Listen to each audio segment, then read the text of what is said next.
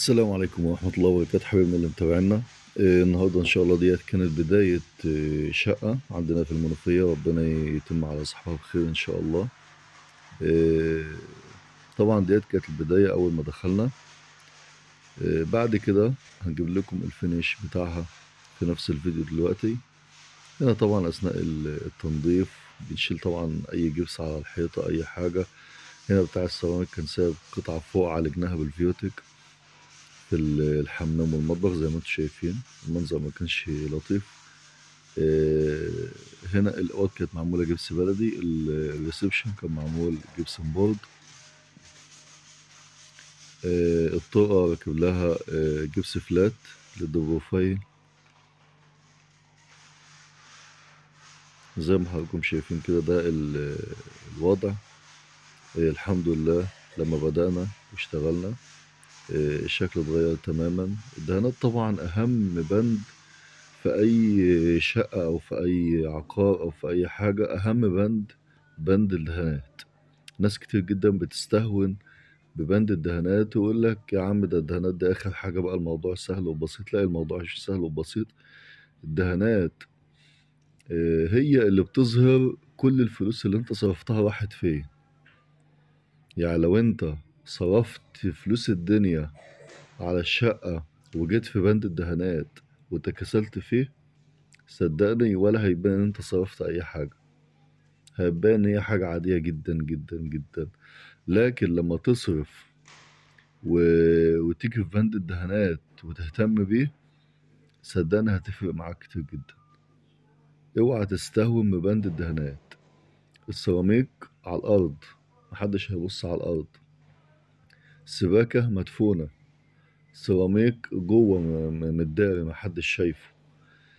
آه، نجارة كهرباء كل ده مفيش حاجة بتظهر جمال الشقة ولا تظهر الفلوس والتعب اللي اتصرف عليها والتعب فيها إلا الدهانات.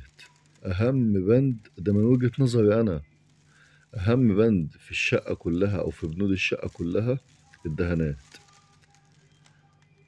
مش هنقول هو آخر واحد بيطلع من من الشقة. لا هو فعلا هو اللي بيلم كل اللي قبله. دايما فن الدهانات هو اللي بيلم عيوب كل اللي قبله إذا كان في عيب في الجبس في النجارة في في الكهرباء في أي حاجة هو اللي بيلم كل البنود. لأن هو فعلا آخر واحد بيطلع من الشقة. طبعا بيطلع بعده السباك بيطلع بعده الكهربائي بس دولت مش بعد دولت كمالة شغل ليهم إن هما بيبقوا داخلين أصلا قبل النقاش أو قبل فن الدهانات. وبعد كده بيجوا يكملوا ال- الشغل بتاعهم. لكن هو فعليا آخر واحد بيطلع من الشقة فني الدهانات أو النقاش. فهنا طبعا لون breeze أنا جايبه لكم مع الأبيض عشان خاطر يبان اللون ال breeze. واضح أهوت في الضوء الأبيض. ناس كتير بتبقى تسأل على اللون breeze أو عايزة تشوفه على الطبيعة فأنا جايبه لكم على الطبيعة أهوت بينه وبين الأبيض عشان يظهر ال- الدرجة الطبيعية بتاعته. فزي ما قلنا يا جماعة محدش يتكاسل أو إن هو يستهون موضوع ال- الدهانات أو يقول يا عم ده آخر حاجة بقى ما عادش أنا خلاص خلصت فاضل لي شوية الدهانات وخلاص لأ فاضل شوية الدهانات وخلاص دولت. دول بند مهم جدا وبقى مكلف جدا جدا دلوقتي. الموضوع ما عادش زي زمان. آه، الموضوع اتغير. انت اهتميت وصرفت فمش هتيجي على آخر حاجة وأهم حاجة وتتكاسل فيها. لازم برضه تجيب دهانات جيدة تكون أجود حاجة. زي ما أنت بتصرف وبتجيب أحسن سيراميك وبتجيب أحسن كهرباء وبتجيب أحسن نجارة. فأنت ما تجيش على آخر حاجة. لأ لو ما معكش استنى لحد ما ربنا يسهلها وتعمل. طبعا زي ما أنتم شايفين أهوت الشغل كله يعتبر سادة هنا الفيوتك أهوت ركبناها في الحمام والمطبخ برضه فرق كتير جدا في الشكل. إيه زي ما حضراتكم شايفين الشغل. كله آه، درجة breeze. الشغل كله سادة. آه، شكله شيك جدا وجميل جدا. لسه طبعا بعد الفرش ما يتحط أكيد الوضع هيتغير مع الستاير. عامل الكهرباء عامل مهم جدا جدا دلوقتي. بقى أهم من أهم البنود برضه في في التشطيبات الكهرباء. إن هو آه، بيعمل الديكورات كلها أو بدل الديكورات اللي كانت بتتعمل في الحوائط بقت بتتعمل كلها في الأسقف بالسبوتات بال بال LED profile بال LED. فالإضاءة بقت حاجة مهمة جدا جدا في التشطيبات وحاجة أساسية آه، خاصة لو هتعمل gypsum board وده من مميزات ال gypsum board إنه بيشجعك أو بيساعدك إن أنت تقدر تعمل آه، شغل كتير جدا في الكهرباء.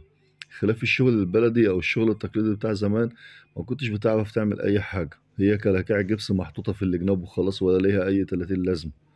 لكن لا الوضع طبعا بقى مختلف تماما.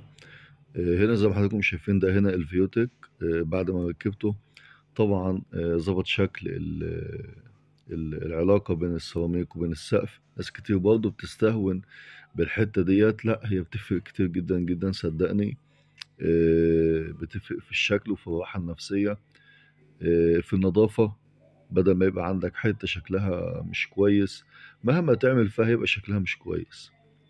فالفيوتك بيظبط شكلها جدا وبيخلي المنظر الجمالي بتاعها كويس ونهاية السيراميك بيكون شكلها جميل. أتمنى يكون ال- الفيديو عجبكم وما ننساش ندعي لصاحب الشقة ربنا يبارك له ويتم عليها على خير وربنا يفرحهم ويفرح كل أولادنا وكل شباب المسلمين وبنات المسلمين وإن شاء الله انتظرونا في فيديوهات جاية.